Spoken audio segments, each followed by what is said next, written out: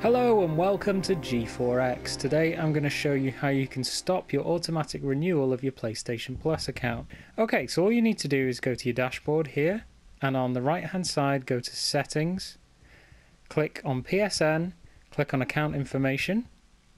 This could take a second to load.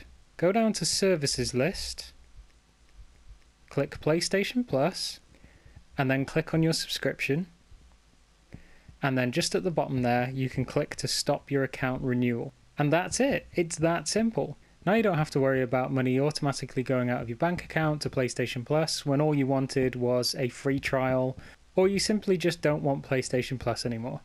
If you want to see any more handy hints and tips, then please subscribe to my channel and check out a couple of the other videos that I have on there already. Thank you very much for watching G4X.